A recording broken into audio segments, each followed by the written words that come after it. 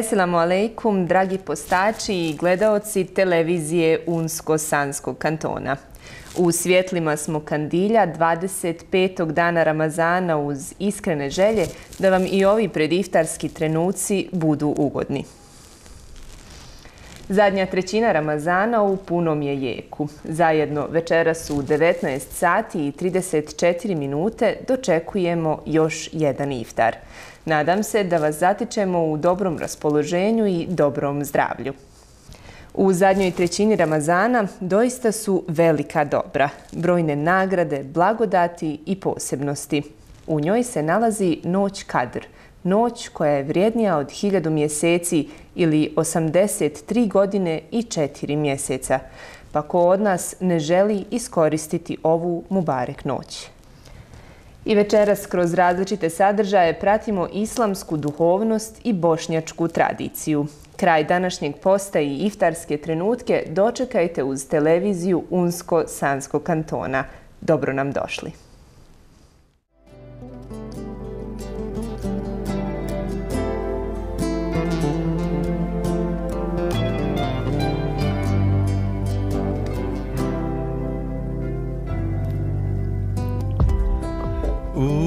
U snovima tebe sam vidio Oko tebe tavaf činio Pa sad bolan hodim svijetom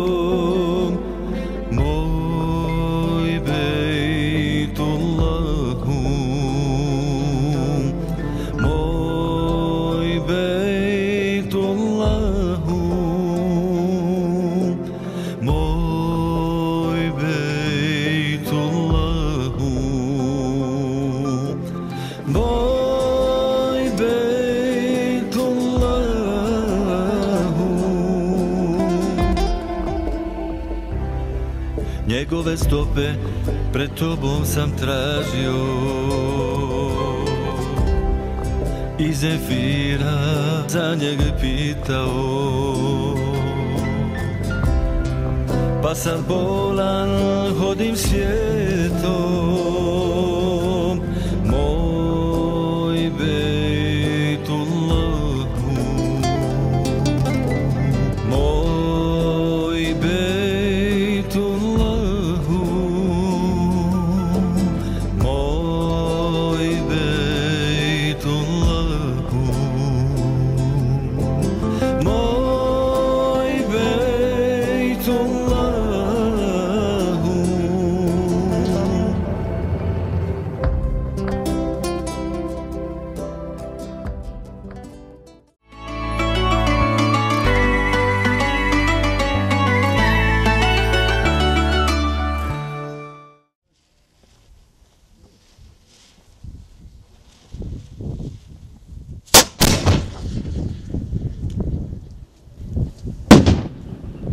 الله أكبر الله أكبر.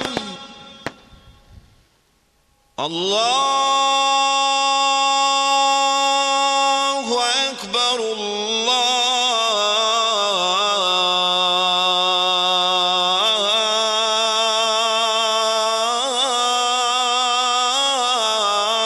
أكبر. أشهد أن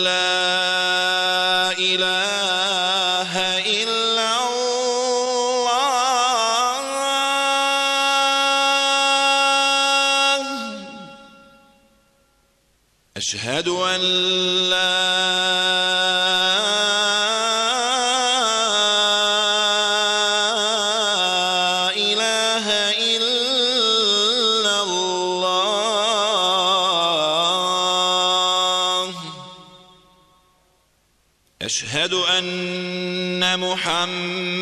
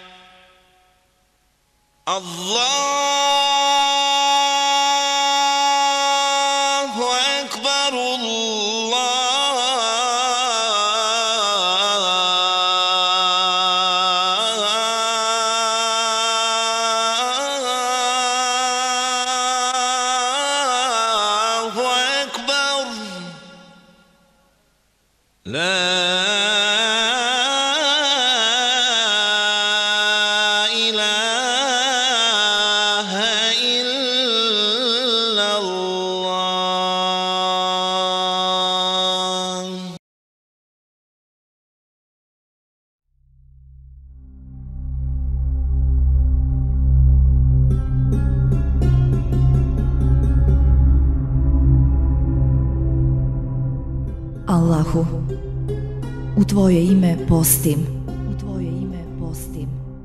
U Tebe vjerujem. Vjerujem. U Tebe se uzdam. I Tvojim blagodatima se iftarim.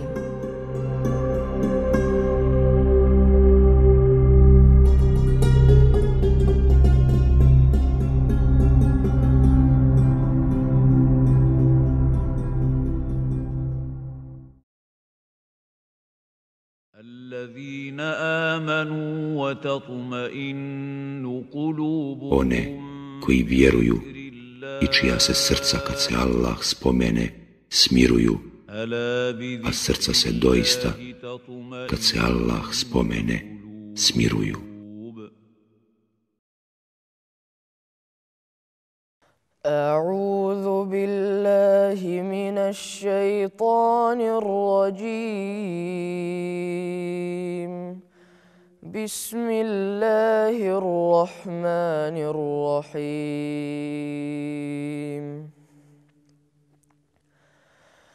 أولا يرون أنهم يفتنون في كل عام مرة أو مرتين. ثم لا يتوبون ولا هم يذكرون.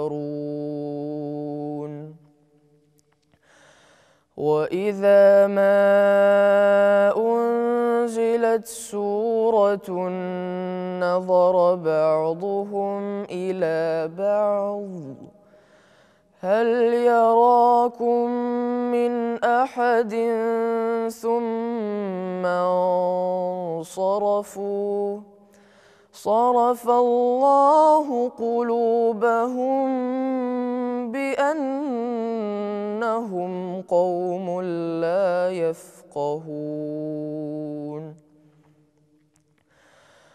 لقد جاءكم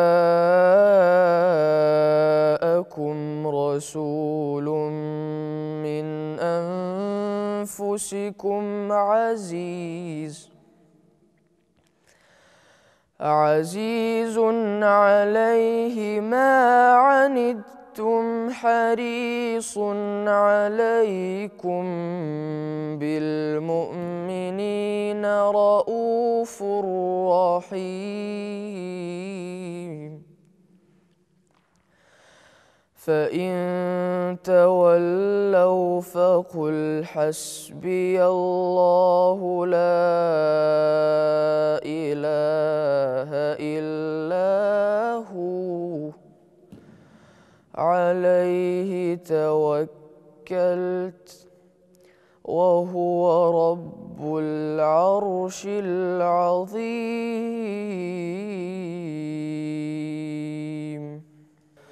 صدق الله العظيم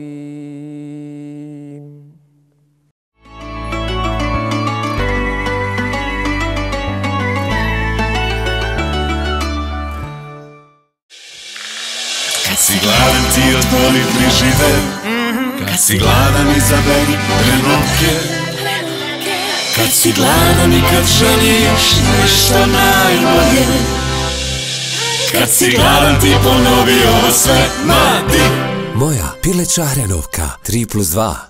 Islamski pedagoški fakultet u Bihaću je po svojoj kvaliteti jedna od prepoznatljivih članica Univerziteta u Bihaću. Na fakultetu se mogu upisati tri studijska programa Islamska vjeronauka, socijalna pedagogija i treći novi studijski program Socijalna gerontologija.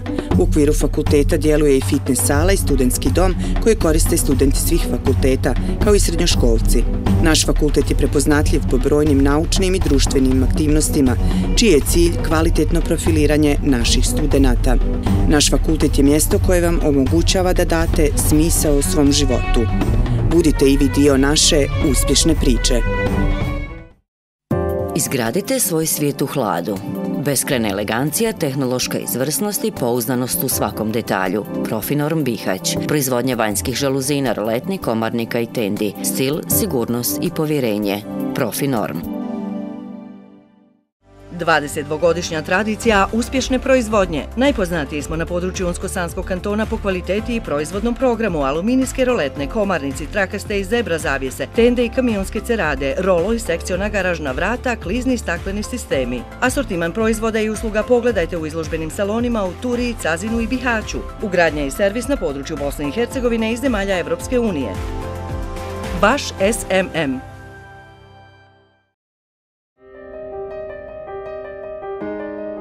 Pridružite se akciji prikupljanja sredstava za podjelu ramazanskih paketa.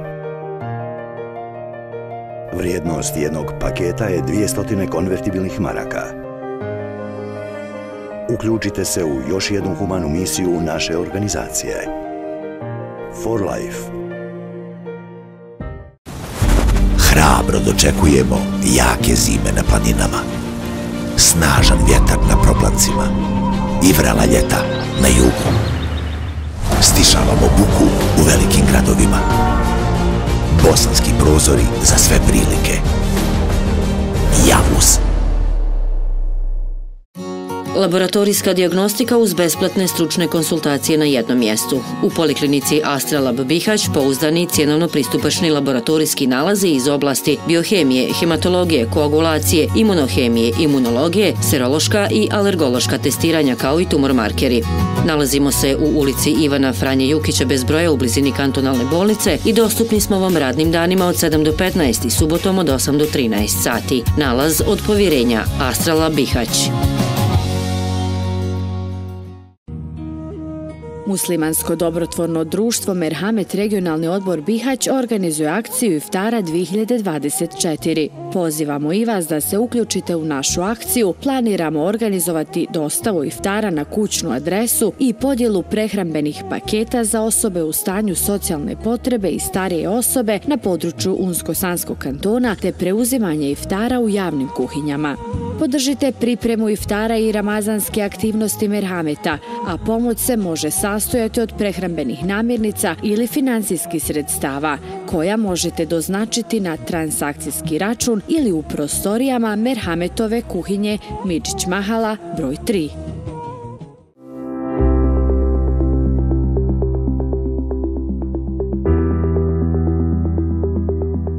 Dobrodošli u oazu gdje gosti nisu samo posjetitelji, već dio naše priče. Hotel Kostelski Buk.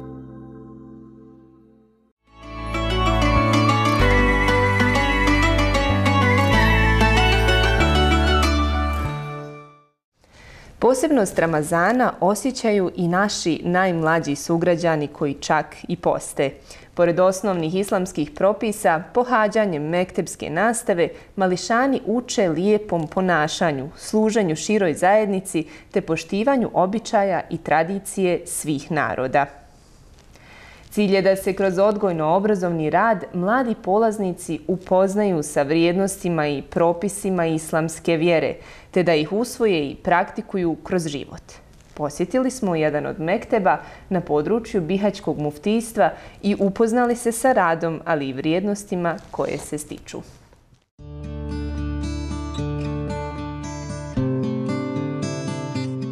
Ovo je jedan od razloga zašto je mektebska nastava važna kod djece. Pojdem u mekteb da bi nešto naučio što trebam. Jedan period nisam išao u mekteb, ali sad vidim zašto ne idem jer dosta toga naučim u mektebu u svojoj vjeri. U mekteb uh, idem jer uh, želim da naučim nešto o svojoj vjeri. Uh, u mekteb sam zavoljela ići uh, gledajući svoj bra, brat, svog brata i svoje sestre. Uh, od mekteba očekujem i mislim da će mi on pomoći u budućnosti da budem bolji čovjek. I volim da se družim u mektebu svojim prijateljima. Mektevska nastava, kao što smo i čuli iz ovih primjera, vrlo je važna za odgoj mlađe generacije. Osim osnova vjerske pouke u Mektebu, djeca u istinu mogu puno da saznaju o tome kako treba da poštuje i voloje svoje roditelje, da poštuju svoju rodbinu, da ih obilaze, da imaju lijep odnos prema svojim komšijama, da se znaju u susretu lijepo poselamiti i mnogo toga. S tim u vezi posjetili smo Mektebu džematu Brekovica i uvjerili se u način, ali i uspješnost rada ovog Mekteba, te koliko su džematlije zainteresirane da svoju djecu šalju na Mektebsku pouku. Mekteb je najvažnija obaveza e, i misijska djelatnost jednog imama. E, nema ništa značajnije važnije nego e, subotom i nedjeljom biti ovdje među ovog djecu, da bi sa njima dijeliti vrijednosti naše vjere. E, da bi jedan mekteb bio uspješan pored malima ili učitelja koji na najbolji mogući način se i pripremi i da ono što je do njega, tu je neophodna saradnja sa roditeljima. Moja saradnja sa roditeljima ove djece je izvrsna i nekada, nekada smo možda prekritični prema i roditeljima i djeci, pa kažemo roditelji dovoljno ne ulažu u svoju djecu kroz primjer mog mekteba, e, ja mogu e, sa sigurnošću ustvrditi da su naša djeca i njihovi roditelji zainteresirani za mekteb, a to pokazuje i redovnost na mektebskoj nastavi. E, ono što mene kao imama posebno impresionira jeste da ono što djeca nauče u mektebu u stvari primjenjuju cijeli život. A mi znamo iz naše tradicije koliko e, je važno da čovjek e, uputi nekoga, napravi put sa jednom riječu koju kaže. I koliko će to biti važno na njegovoj e, vagi dobrih dijela na sudnje dana. Smatram da pored svega ovoga je važno da mu Alim uključi i stručna lica, poput psihologa i pedagoga, da budu njegov suport u radu, ali primarno da implementira, ispuštuje ono što se od njega kao malima traži e, od da nauči djecu ili da potakne da djeca nauče e, elementarne stvari islama e, od teorijskog dijela, od onog praktičnog dijela poput namaza i od učenja Kur'ana. Ono što želim također da, da, da istaknem kao, kao možda nešto što ljudi nisu dovoljno raz, rasvijetili u svom životu jeste E, komplementarnost vjeronauke i e, mekteba. Znači, e, mektebski nastavni plan i program nije isti kao što je vjero, e, nastavni plan i program vjeronauke, e, zato što se u mektebu uče isključivo praktična dimenzija islama. Što je ključno važno i ključno bitno. I po meni lično, ako jedno od ove djece koje, koje su prošli kroz mekteb u kojem sam ja mladim, e, nauči nešto, neku životnu lekciju, ja ću biti sretan čovjek. Šta su to još naučili, pitali smo polaznike. Bićemo loši ljudi ako opsujemo i onda Allah nas neće valjati za uvijek. Mi u Mektebu učimo sure, di, one šarte, što uči, učimo o Allahu, Muhammedu, alaihi salamu. I moje mišljenje, šta, moje mišljenje u Mektebu što smo, što smo naučili da, da, treb, da ne trebamo vrijeđati druge, da, da ne lažemo o njima, da, na, da ne tračaramo o njima. Mi smo danas učili da trebamo vjerovati u jednog Allaha i da volimo najviše na svijetu jednog Allaha. Ja volim Mekteb jer u, u njemu učim jako, jako puno stvari od suri do islamskih šarata. E, učimo i o poslaniku, o Allahu. Puno suri učimo. Euzu billahi mina šeitani rađi, bismela man rahim. Uhu alahu ehad, Allahu samed. Nami jelit, veleme kulehu, kuhuven, veleme julet, veleme kulehu, kuhuven ehad. Posjetom ovoga mekteba realizirana je i aktivnost sa stručnom osobom, koja kroz različite radionice i tekako doprinese kroz razvoj mlade ličnosti.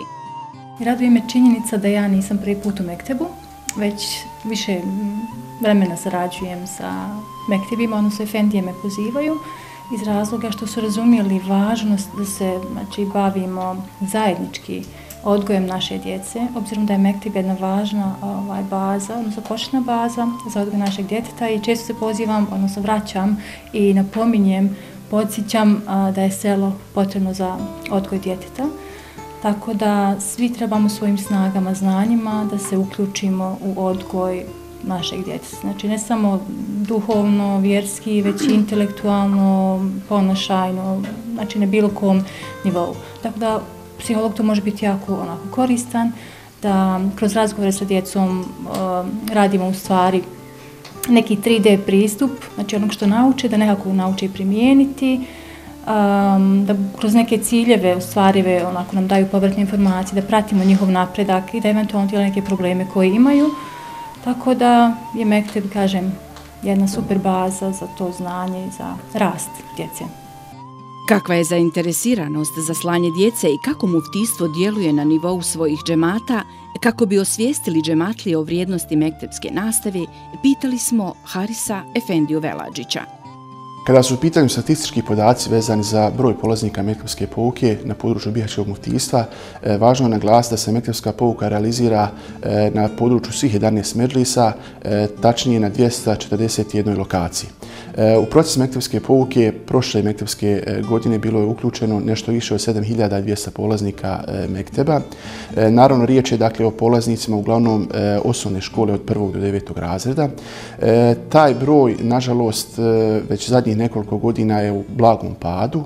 Razlog, je naravno, razlog su naravno izraženje migracije naših džematlija uglavnom u zemlje Zapadne Evrope, ali ono što treba naglasiti jeste da u svim e, većim mjestima u kojima borave bošnjaci e, u Evropi također egzistiraju naši džemati, naši bošnjački džemati u kojima se također realizira mektebska pouka, tako da su ti džemati, odnosno mektebi, u stvari e, prilika da naši roditelji i u tim e, krajima svijeta e, zajedno sa svojom djecom e, rade na razvoju prije svega očuvanja vjerskog identiteta, ali također mekteb u tim sredinama svakako su e, sredstvo da se očuva jezik, ali i drugi elementi nacionalnog identiteta. E, mektevska pouka, pored dakle samog, sam, same mektevske pouke, e, naši mualimi organiziraju različite sadržaje tokom trajanja mektevske godine. E, jedan od sadržaja koji se realizira od prošle mektevske godine na području našeg muftisa jeste škola Kur'ana. E, škola Kur'ana je u stvari zamišljena kao dodatna aktivnost mektevske, e, mektevske pouke i e, na području svih naših 11 medlisa mi od prošle godine imamo e, organizirane škole Kur'ana gdje našim mualimi u stvari nude mogućnost da naša djeca pored onog osnovnog sadržaja koji je predviđen nastavnim planom i programom Mektevske pouke, također usvoji neke dodatne sadržaje posebno koji se tiču učenja Kur'ana. E, drugi segment e, također koji je važan, a koji se realizira u zadnjem e, dijelu mektebske godine, jeste organizacija mektebskih takmičenja. Cilj mektebskih takmičenja jeste u stvari da se naši mualimi, ali prije svega polazici mektebske pouke, dodatno motiviraju u ostvarivanju što boljih i kvalitetnijih rezultata u samom procesu mektebske pouke. Proces mektebskih takmičenja realizira se na različitim nivoima, prije svega na nivou džemata, odnosno medrisa.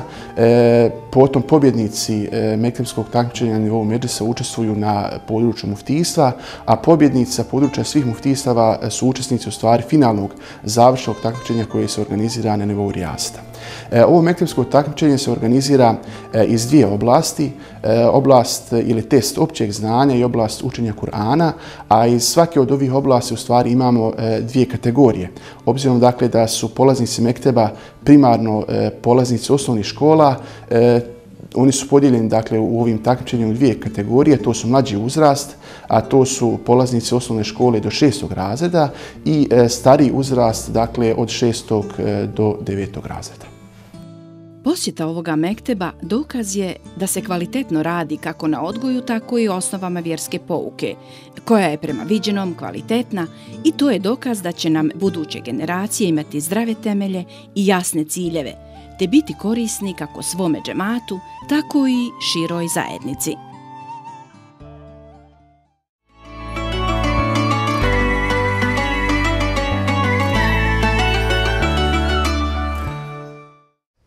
Merjem bint Imran je žena koju Kur'an navodi kao majku poslanika Isa alaihisselama.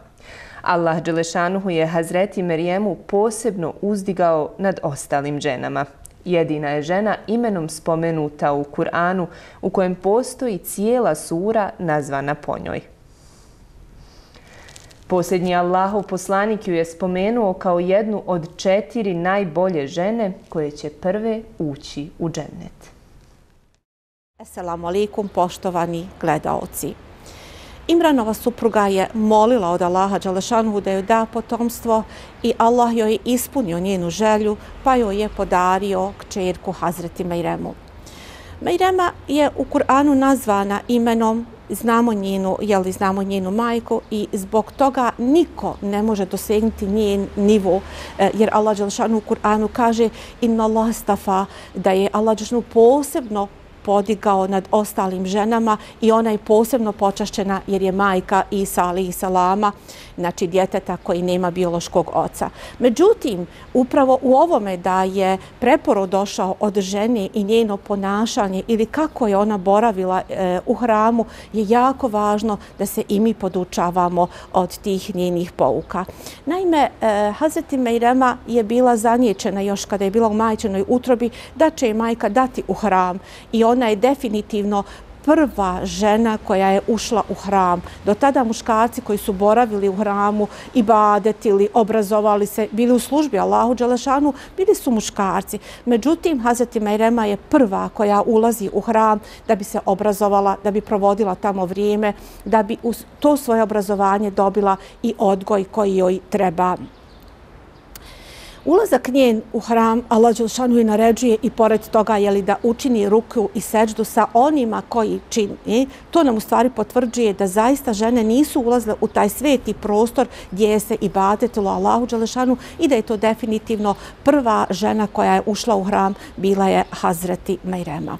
Pošto je trebala tu da boravi, e, njoj je napravljena posebna sobica u kojoj je ona i ibadetila, Ona je također i obrazovala se, imala je i brigu od Zakarija, i Salama koji je u stvari bio njen odgajatelj, ali pored svega toga vjerovatno je imala i neku službu u hramu, jer inače e, služiti hramu, bilo to i čišćenje, velika, velika deređa kod Allaha Đalešanu. Zato nam Boži poslanik u jednoj predaji prenosi se da je bila žena u Medini koja je održavala džamiju i čistila je.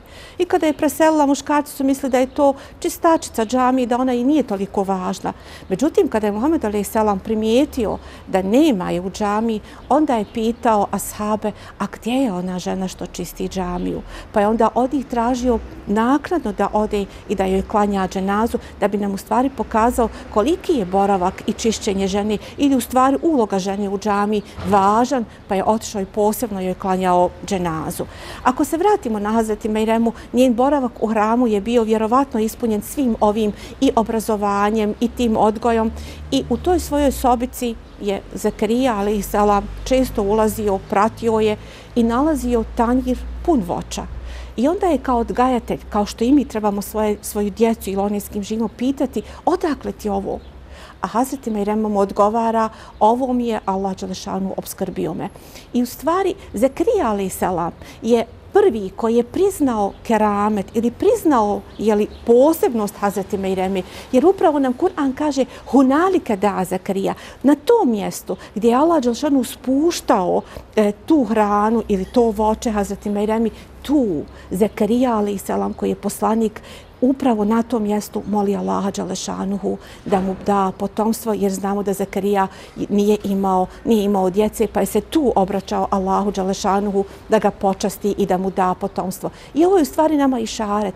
Gdje god vidimo da je Allah Đalešanuhu spustio svoj bereket, tamo idimo, tamo molimo Allaha Đalešanuhu, a tamo gdje je Allah Đalešanuhu uništio neki narod, odmaknimo se i prođimo pored tih mjesta, kao što je Boži poslanik rekao kada je prolazio pored sa, e, grada grada u kojem je uništen Salih, ali i Salamov narod, rekao je ashabima, prospite tu vodu i prođite brzo.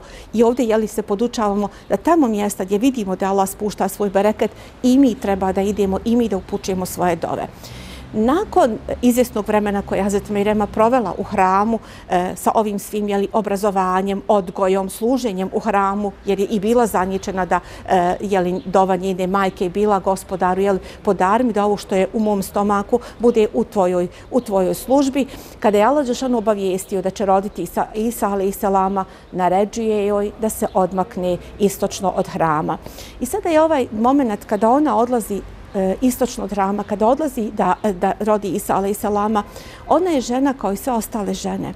E, ono što nam Kur'an prenosi jeste njenu rečenicu gdje kaže da sam Bog do umrla prije nego što mi se ovo desilo. Znači kako je njeno unutrašnje stanje bilo, vidimo iz ove njene, njene jeli dove ili vapaja da je Bog do preselila, da ne doživi to, da se mora vratiti sa djetetom koji nema oca i objašnjavati sada tim stanovnicima da je ona jel, posebno nadareno. Vidimo to njeno teško stanje stanje. Potom znamo da je se porodila i kada je sve to završila, onda je Allah Đešanu kaže ustani o Merijem i zatresi palmu. E, ovdje se sad mi, da, da dovedemo najjačeg čovjeka i da mu kažemo da zatrese palmu, znali bi da nijedna palma, ne, da nijedna hurma ne bi pala sa, sa, sa te datule, jer su one visoka, imaju jako stablo. Ali ovdje je u stvari druga poruka, da se mi pitamo zašto to, kada je Hazreti Majrema bila u hramu, Allah Đalešanuhu je posebno spuštao, e, spuštao tabak sa hranom, a kada je bila u ovoj osami, u istočnoj strani, onda je, e, onda joj je Allah Đalešanu rekao ustani sada i sada ti zatresi ovu palmu. Naime, mu Fesiri nam kažu da je Hazreti Mejrema u hramu imala službu, radila je, pokretala se, imala je svoj, svoj udio u tim dijelima, jer Kur'an nam često govori vjerujte i radite.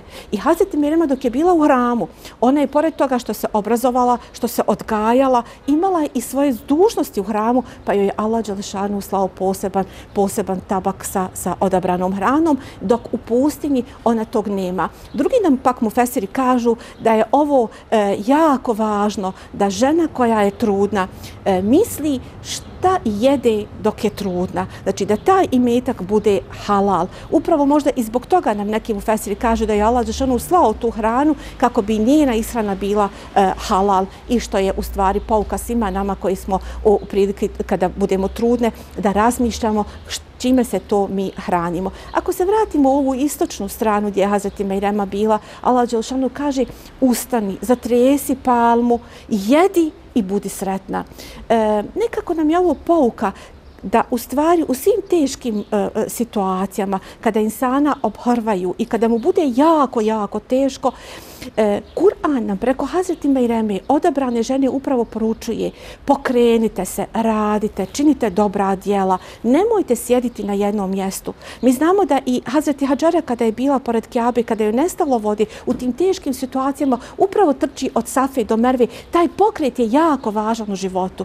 Da, da, budemo, da izađemo iz onog svojeg komfora u kojim smo mi navikli da samo napravimo kafu i da sjedimo. Ne, Allah od nas traži da radimo. I sada u kakvom stanju gdje Hazreti Mirjama svako koji se porodio zna kakvi su to bolovi i poslije porođaje. E upravo tada da se ne bi ti bolovi širili po našem tijelu i da ne bi mi toj tuzi predavali neku veliku važnost, Allah joj naređuje jedi i kreći se. I jedino ćemo na taj način mi napraviti balans u svome organizmu. I ovdje nam je u stvari jel, neka velika poruka da u našim životima mi, kako sam rekla na početku, ne može ni jedna žena biti na nivou Hazreti Mejreme i nju je Allah Žešanu posebno odabrao, posebno im mjesto dao. Ali ona nama učiteljica kako robovati, kako se obrazovati, kako raditi.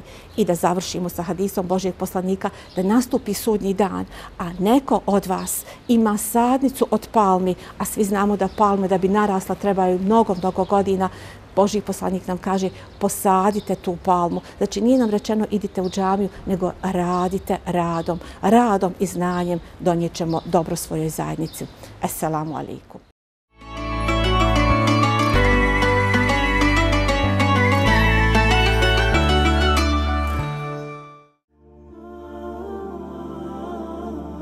Mehmed Begovoj avliji u blizini plota, opletenog kozna kada, od vrbovih i ljeskovih, sada već napola truhlih grana, koji se protezaše obalom jarka podno prašnjavog puta sa vrlo niskim donjim granama, povijenim pod teretom ovogodišnjeg groda, raširene krošnje, šepurila se stara džulabija. Svojom razgranatom krošnjom i veličinom plodova mnogo se razlikovaše od džulabija kojih u našem sokaku bješe u još nekoliko avlija i sve bjehu zasađene plaho blizu kuća, pa se sa penđera na gornjem im boju mogla dokučiti pokoja jabuka. Jedino dedina, kako smo mi djeca zvali Mehmed Bega, ne bješe blizu kuće. Tridesetak koraka od džulabije između kuće i mutvaka u hladovini se nabije bješe klupa na kojoj je za lijepih dana Mehmed Beg sa svojom Aisha Hanumom eglenisao i srkao vruću tek iz džezve na livenu kahvu koju je ona iz mutvaka iznosila na tabli zajedno sa šećerlukom i dva filđana viška slučajnim prolaznicima namijenjena. Sokakom ni nepoznat im insan nije mogao proći da ga, iako se nečka skoro nazor, ne svrate da sa njima popije kahvu. Na toj klupi, u lijepim ljetnim noćima, sjedeći pored svoja iše, kada im niko nije došao na sjelo ili oni nisu otišli u komšiluk, čekajući jacijski vakat – slušajući je kako mu priča šta se danas dogodilo u komšiluku, čejfio je Mehmed Bek. Nekada se jelo za sinijom, danas za stolom. Ali gdje god da se jede, kaže se da se jede za sofrom. Kod objedovanja domaćin sjeda u vrh sofre. Ranije, naročito kada je bilo više gostiju, ili ako su za sofrom bili samo muškarci, domaćica nije sjedala – već je samo posluživala ili nadgledala posluživanje u kuhinji. Međutim, promjenama u porodici, prije svega njenim smanjenjem na najuže članove, roditelji i djecu, ova navika se gubi. Domaćica sjeda za sto zajedno sa ostalima, premda je njeno jelo isprekidano, jer ona praktično istovremeno i poslužuje. Sa osjećajem stida i nekakve nelagode, prekoračivši povisok kapijski prag, uđoh u Avliju. Ugledah nasmiješenu Aisha Hanumu i na šiltetu pored nje prvi put nasmiješenog lica vidjeh dedu i još kad čuh kako mi govori. Bujrum, bujrum, ehlen vesehlen moj sokole. I išareti da sjednem tapšući dlanom po šiltetu. Nestade nelagode i ja sjedoh pored njega. Dok sam odgovarao dedi na pitanja kako je u vojsci i slušao kako to nekad bješe u vojskama u kojima je on ili neko njegov bio, dječak je iz mutvaka donio sofru na koju je Aisha Hanuma postavljala slatko i šerbe od ruža. Džaba sam govorio da ne donosi ništa, da je dosta čaša vode. Samo se osmijehnuvši nastavila je donositi kadajf, tablu sa filđanima i šećerlukom. U ođaku mutvaka je pristavila džezvu za kahvu i ko zna šta bi sve iznijela da ne rekoh kako mi stomak nije u redu. Kada dječak na sofru spusti sepetić sa džulabijama, lice mi se zacrveni i ponovo me obuze nelagoda. Dedi to nije promaklo. Potapša me po ramenu i poče priču. Ispričao mi je kako su nekad ljudi pravili puteve, dovodili vodu, pravili mostove i marete, hamame, džamije, mektebe. Drugima na korist, a sebi na sevap, dok god se to što načiniše koristi ili dok sjećanja na to traju. Kako on i da njegovima austrijske sve vlasti poslije ne oduzeše skoro sva imanja, ne bi znao šta da gradi, niti bi mu ova vlast dala odobrenje za gradnju. Kad mu se rodio najstariji sin koji već ima unuke i živi u Sarajevu, naumpade mu da je od svog djeda čuo kako je golem sevap makar kakvom sitnicom obradovati maksuma. Dedo odluči podalje od kuće, ali i od puta zasaditi džulabiju, čiji plodovi su slatki i rano prispijevaju, a kojima će se djeca plaho radovati. Od kuće je odmake jer je nanijetio da kad prispiju prvi plodovi, osim njegovu, obraduju i djecu cijeloga sokaka – a od puta je odmake zbog hajvana da je brsteći ne bi osušio. Djecu je tjerao sačekavši da pokupe jabuke jer je znao da ne dolaze samo zbog džulabija, nego i da ih on potjera da bi se mogli hvaliti da su nedodirnuvši ga preskočili plot ili izazvati nekog ko se sapleo i upao u jarak. Sa jelom odpočinje domaćin, odnosno najstariji član porodice. O ovoj obavezi bi trebalo povesti više računa, jer se ovaj izraz lijepog ponašanja u posljednje vrijeme gubi. Jedan zajednički obrok mora se njegovati u svakoj porodici. Hoće li to biti ručak ili večera? Nije bitno. Bitno je da se ukućani okupe i svojim prisustvom i ponašanjem ukažu poštovanje prema sofri i zahvalno za dnevnu na faku pa ma kakva i ma kolika bila. Jelo počinje riječima Bismillah, u ime Boga, koje svako za sebe i u sebi prouči.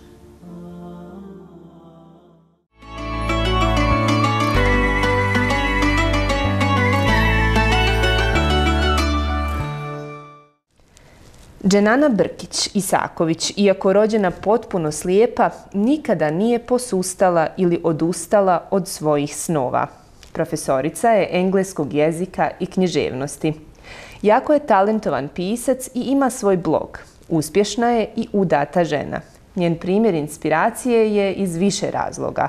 Tolika snaga vjere, volje, truda i rada da se postigne nešto što želiš. I priča o istrajnosti koja nadilazi sve dunjalučke prepreke.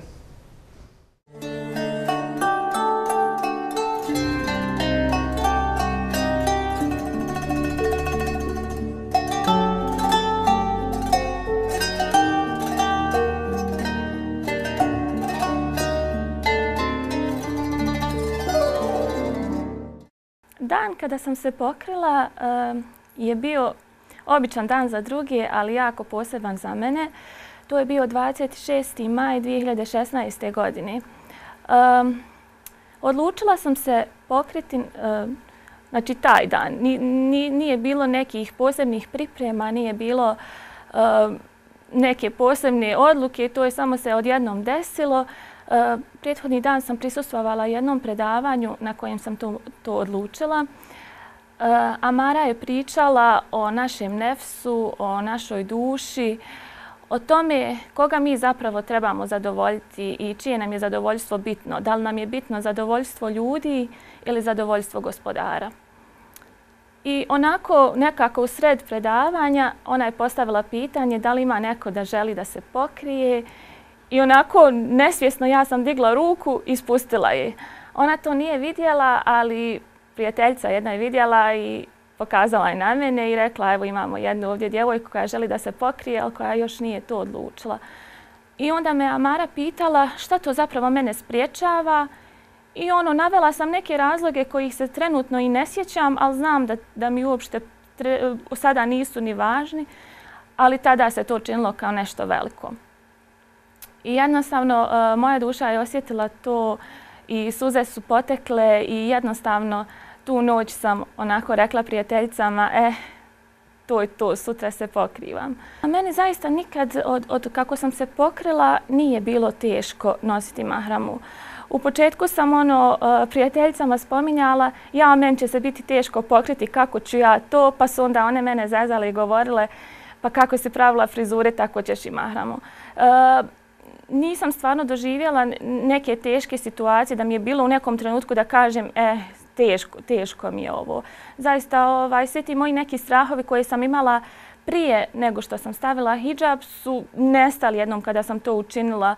Eh, bojala sam se reakcija okoline, reakcija porodice, eh, reakcija ljudi na fakultetu, ali zaista ovaj, stvarno nikad nisam doživjela ne, neku poteškoću i uh, jedna prijateljica mi je čak rekla kao kako tebe ljudi sada drugačije nekako gledaju, nekako si im inspiracija.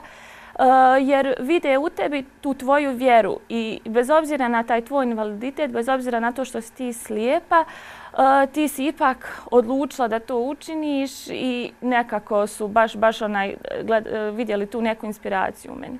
Žena muslimanka i žena sa hijabom mislim da zaista može biti uspješna na, na svakom polju. Uh, Eh, imamo Pogotovo danas nekako je to sve više i više rasprostranjeno i sve više žena je pod mahramom. Pogotovo u tom nekom javnom životu imamo profesorice, doktorice, medicinske sestre, pa čak e, žene e, pokrivene koji su u politici. I mislim da je to opet sve do nas, znači do našeg stava, kako ćemo se mi postaviti prema nečemu. Um, normalno ima izuzetaka gdje će nam možda neko reći eh, ne možeš ti zato što nosiš mahramu. Ali onda mi svojim tim nekim dijelima, svojim postupcima možemo dokazati da mi to možemo. Um, nekako, evo i ja sam kroz taj svoj invaliditet, uh, kroz čitav život se morala dokazivati i znam kako je to. I znam da i žene sa hijabom dožive te neke situacije gdje uh, jednostavno to neko ne prihvata jer ljudi prvo to vide na nama, znači to, to naše nešto fizičko, in, bio, bila to mahrama, bio invaliditet i tako. Tako da ovaj, ponekad možda i moramo, ali ja kažem, stvarno je sve do, na, do našeg stava. Znači mi ako dođemo sa stavom da, da mi možda ne možemo to da uradimo, normalno da će nam i, i, i drugi ljudi to uh, ta, to će tako gledati na taj način. Ali ako mi dođemo spremne da nema veze i ako smo prve u nečemu, recimo u nekom sportu, ako smo prve i ako mi pokažemo da, da ima načina da, da mi to možemo izvesti, ja mislim da će to i drugi ljudi prihvatiti i da, da neće biti nikakvih problema. Uh, mislim da generalno u Bosni danas nije biti teško pokrivena žena. Uh, što se tiče Europe i, i, i ostalog svijeta, uh, opet kako gdje, e, mislim da nismo, da nismo prihvaćene kao, kao što možemo i vidjeti u, u, u vijestima u nekim zemljama, ali što se tiče Bosne, hvala Bogu, e, mislim da pokrivena žena može biti zaista uspješna šta god, to da, e, šta god da odluči da radi.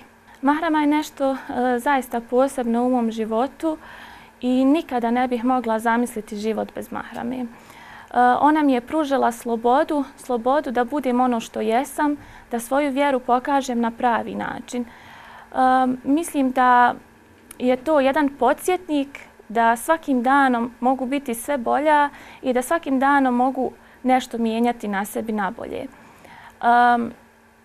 hijab nije samo znači mahrama na glavi, to je moje mišljenje, to je zaista mnogo, mnogo veće. Uh, E, to je ono kada izađete iz kuće i, i, i nosite tu mahramu na glavi i znate da neke stvari za vas nisu prikladne da ih radite. E, kada sam razmišljala kakvu poruku bih e, ženama, djevojkama koje žele da stave hijab mogla poslati, sjetila sam se onog dana kada sam se ja pokrila i šta sam ja u tom trenutku razmišljala, šta je zapravo mene potaklo i, i motivisalo da e, stavim mahramu. A to je bilo, jeste čija, čije nam je zadovoljstvo zaista bitno i čije nam je zadovoljstvo potrebno, e, da li nam je bitno zadovoljstvo ljudi ili zadovoljstvo gospodara. Jednom kad to posložimo u sebi, kada posložimo te prioritete, mislim da će nam sve biti jasno. E, zadovoljstvo gospodara se očituje u njegovoj milosti prema nama. I ja sam tu zaista milost osjetila jednom kad sam stavila hijab, Eh, jer sam se pokorila u tom aspektu gospodaru. I mislim da svaka žena, naravno, pored dove, eh, treba da posloži u sebi prioritete i, i, i da shvati čije zadovoljstvo nam je zaista bitno. Jer eh, ne znamo kada ćemo otići sa ovoga svijeta i, i, i naša smrt nam treba biti na pameti i to ta misao da ćemo stati pred gospodara i želimo li stati pred, pred gospodara znajući da nismo obavile tu našu dužnost, taj farz. Znači da stavimo mahram.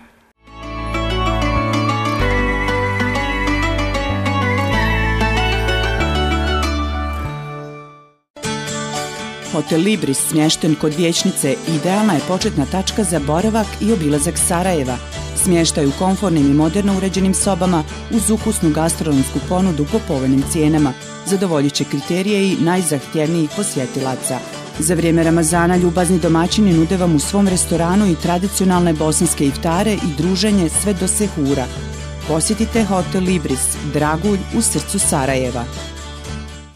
I naša je parola od polja do stola.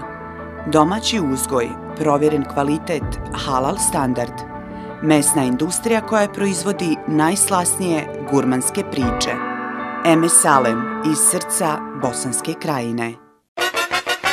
Berlina Bihać, 27 godina sa vama, ovlašteni trgovac novih Volkswagen vozila, ovlašteni servis za Volkswagen i Audi, prodaja rabljenih vozila sa garancijom te originalnih dijelova i dodatne opreme. Berlina posjeduje rentakar, autolakirnicu, punionicu za električna vozila, a možete obaviti i proces homologacije vozila. Berlina Bihać, garancija kvalitete. Transformišite svoj prostor u oazu udobnosti i elegancije uz naše usluge završnih radova u građevinarstvu Final Color Bihać. Bez obzira da li je u pitanju spušteni plafon, suha gradnja, gletovanje, molera i tapete, termoizolacija ili elektroinstalacije, naš stručni tim je tu da ostvari vaše vizije. Osvježite svoj dom ili poslovni prostor sa pouzdanim i kvalitetnim rješenjima. Kontaktirajte nas i ostvarite svoje snove o savršenom prostoru. Final Kolor Bihać. Optika HD u ulici Bihaćkih branilaca u blizini autobusne stanice. Uz stručno savjetovanje i širok asortiman proizvoda i usluga brine o vašem vidu i zaštiti vaših očiju. Optika HD Bihać.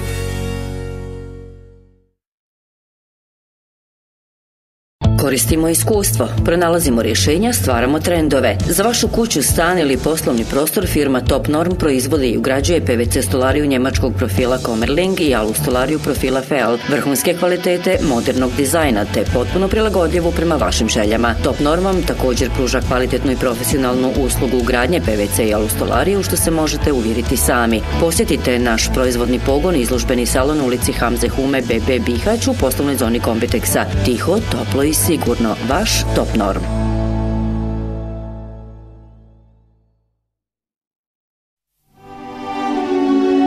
I uz najljepši Mubarek mjesec, mjesec Ramazana. Za lijepe iftarske trenutke. Krajiška kraljica kafe Amila.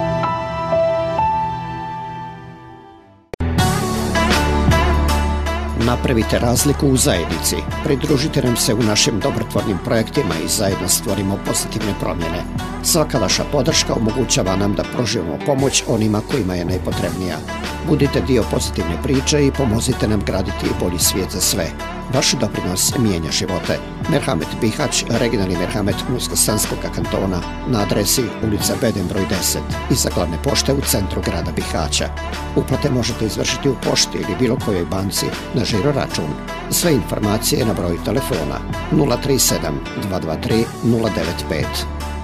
Dobrodošli u Safir, vaš omiljeni hijab shop u Cazinu. Bez obzira da li tražite haljine za svadbu, maturu ili za svakodnevno nošenje, za sve uzraste Safir ima sve što vam je potrebno. Posjetite nas u Cazinu, ulica generala Izetananića 59, a pronaći nas možete i na našoj Facebook i Instagram stranici.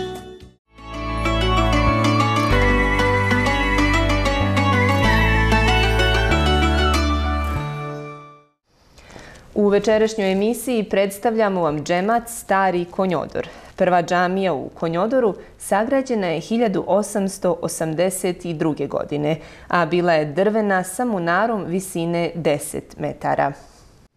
1999. godine na mjestu gdje je bila stara džamija udareni su temelji za novu. Izgrađena je savremena i moderna džamija, podkupolna sa jednom većom i tri male kupole. Ovaj džemat broji oko 160 domaćinstava.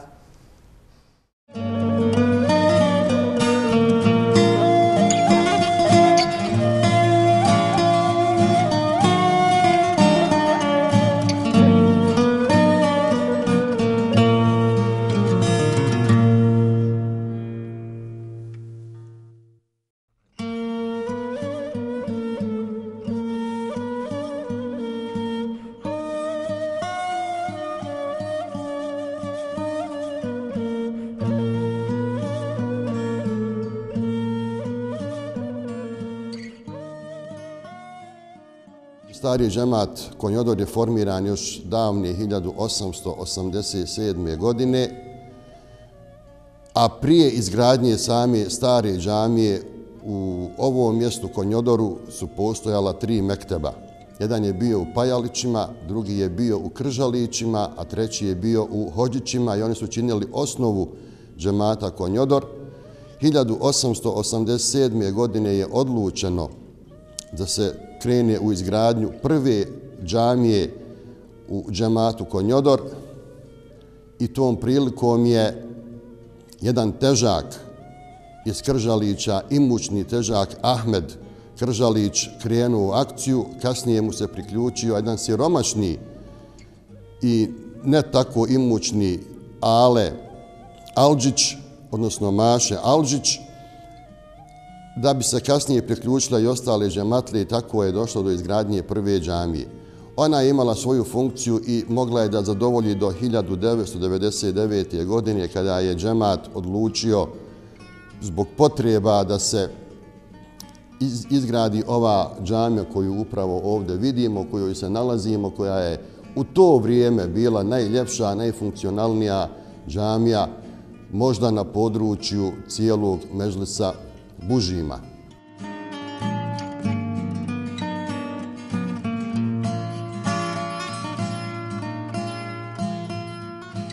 Temelj džamije je bio 31. jula 1999. godine i ono što je interesantno i zanimljivo i svakako treba kazati jeste to da je ova džamija završena za godinu dana. 27. jula je bio otvor džamije gdje su pozvane ili gdje su bili prisutni svi od izaslanika rejsa preko muftije, direktora medrese i predsjednika opštine i svih drugih.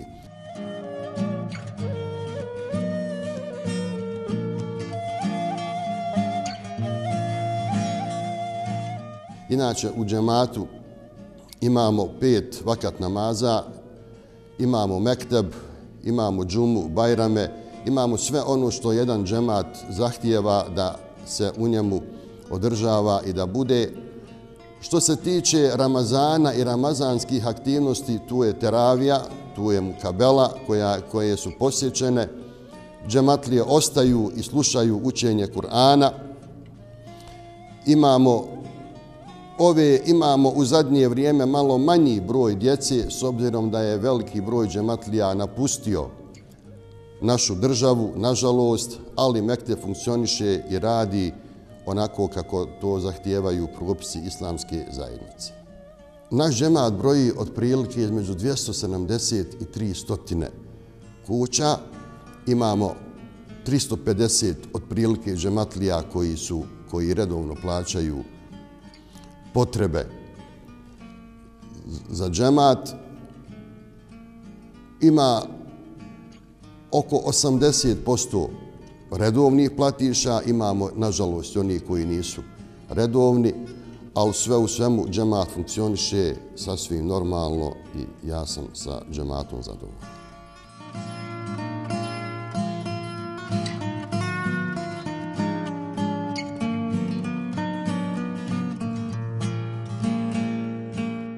Trenutno u Mektebu imamo oko 30 djece. Oko 30 djece koji su redovni. Ono što je najbitnije, najvažnije jeste da su redovni, ne možda svi, ali 90% djece su redovni i redovno dolaze u Mektab. Ja sam s njima zadovoljan, jako fino uče, trudije se, želi da nauče.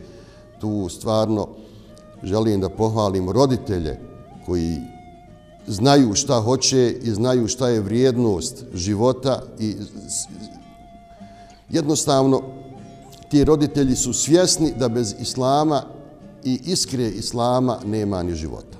Ako, nju, ako se ugasi ezan u ovo ili bilo kojoj džami, sve se ugasi.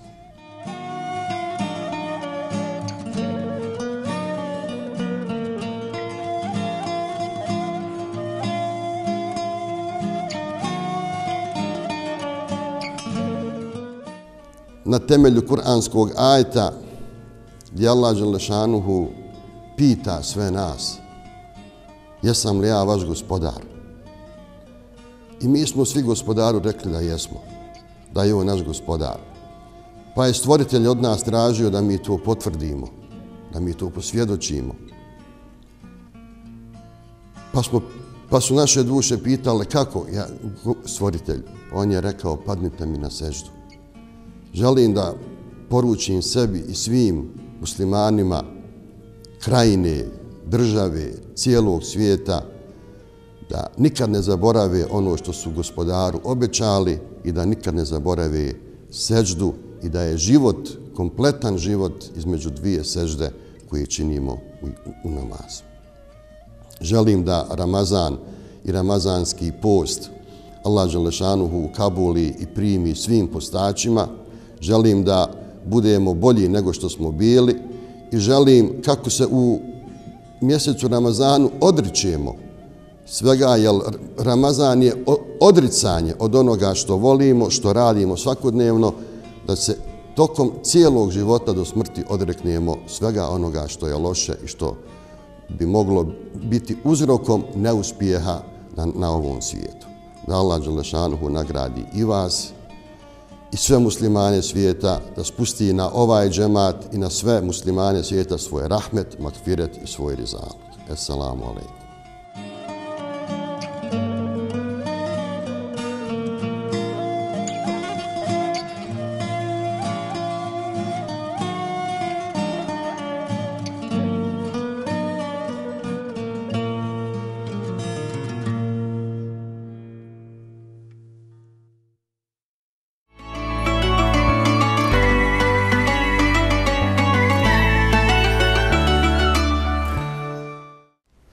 Dragi postači, priveli smo kraju još jedno druženje. Nadam se da ste proveli ugodne trenutke uz naš program. Vrijeme se hura, sutra je u 4 sata i 42 minute, a završetak posta u 19 sati i 35 minuta. Mnogi zaboravljaju da je vrijeme se hura, vrijeme zadnje trećine noći, vrijeme kada se dova prima i ona ima posebno mjesto kod Allaha svjetla kandilja palimo i sutra u isto vrijeme. Esselamu alaikum. Thank you.